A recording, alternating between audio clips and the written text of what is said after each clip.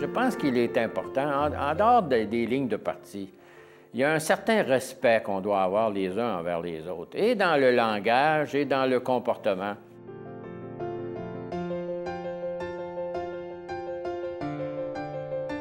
Je vous dis que la commande est grosse quand vous succédez à la fois à René Lévesque au ministère de la Famille et du Bien-être social, à Éric Kierens à la Santé, mais à ma grande surprise, quand j'entre dans le bureau, je trouve une lettre sur mon bureau, sur mon pupitre, euh, adressée comme tu es, à mon successeur.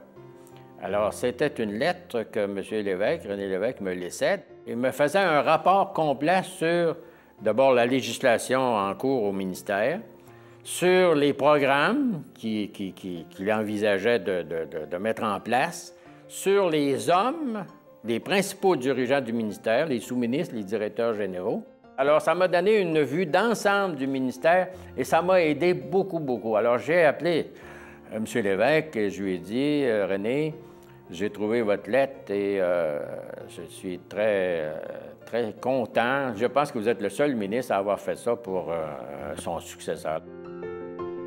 Pour le, prestige de l'institution, l'institution de l'Assemblée nationale, et pour euh, satisfaction personnelle et un comportement aussi digne dans, la fonction qu'on occupe.